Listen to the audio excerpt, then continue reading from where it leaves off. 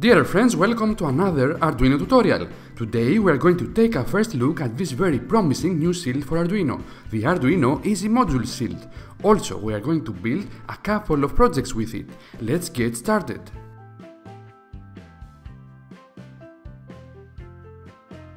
Hello guys, I am Nick and welcome to educ8s.tv, a channel that is all about do-it-yourself electronics projects with Arduino, Raspberry Pi, ESP8266 and other popular boards.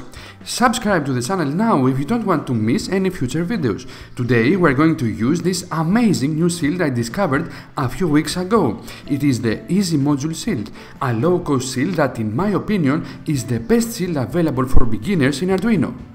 The cost of the shield is around $9. You can find a link for it in the description of the video. The Easy Module Shield offers a lot of sensors and components that will allow you to build many Arduino projects in no time. Let's see what this shield has to offer.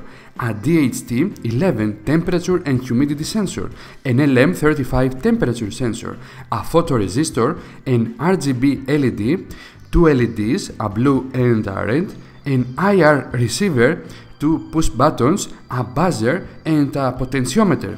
With all these components available, you can easily build more than 10 projects. You won't have to solder or connect anything at all. That's very important in my opinion for beginners in Arduino. All you have to focus on is to learn to code, and then, after you are comfortable with the code, you can move on to more complex projects that require connecting some components together or some soldering. Next to each component you can see the digital or analog pin it is connected to. Also there are a couple of digital pins and one analog pin available for other projects. If you combine the Easy Module Shield with this display, you can build even more interesting projects. I have prepared a detailed tutorial about this display. You can check it by clicking on the card here. Also, you can find a link for this display in the description of the video below. The display is big and easy to use. It uses the I2C interface, so in order to make it work with the shield, you only have to connect 4 wires here.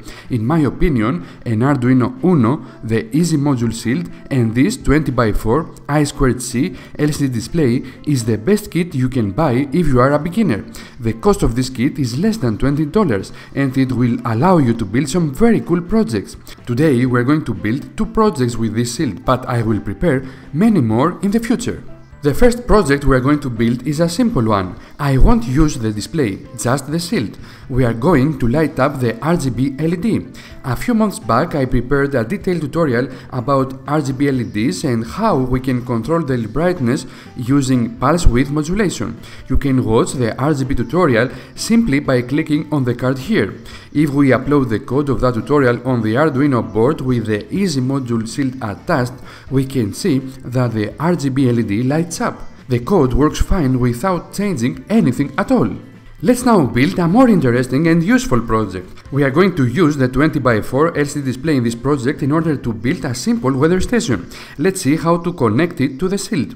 The connection is very easy. All we have to do is to connect the 4 pins at the back of the display with these 4 pins of the shield. The shield has all the pins labeled, so it is extremely easy to connect any I2C device to it. If we load the code and power up the Arduino, on the display we can see the temperature, the humidity and and the light intensity.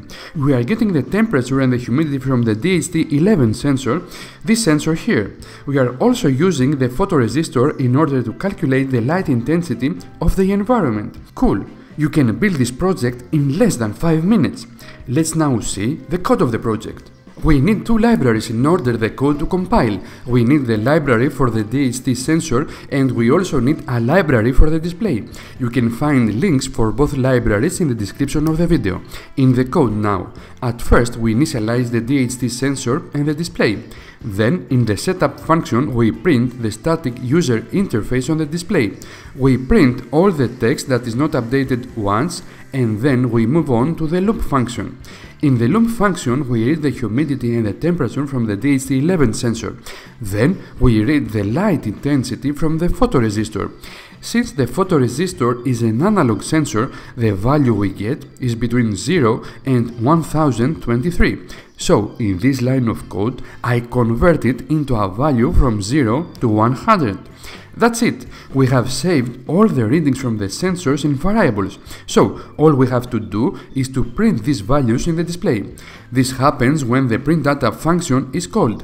After we print the readings on the display, we delay for a second and the loop function starts over. As you can see, the code is very simple and you can modify it easily if you wish. I have also prepared a version of the code with the temperature displayed in degrees Fahrenheit. You can find the code of both Debon projects in a link in the description of the video below. As a final thought, I think that the Easy Module Shield is a great shield. It is ideal for beginners and in combination with this display and an Arduino Uno, we have a great low-cost kit. If you are new to Arduino, this is the kit to buy. It will keep you busy for a long time and it will pave your way to more advanced projects. I would love to hear your opinion about this shield. Do you find it useful? And if so, what kind of projects are you going to build with one of these? Please post your comments in the comment section below and don't forget to like the video and share it with your friends if you find it interesting. Also, consider subscribing to the channel and do click that bell or YouTube might not show you updates as new videos come out. If you are going to be shopping for parts, check out the affiliate links from the video description. That's it for today guys, thank you very much for watching, I'll see you in the next one.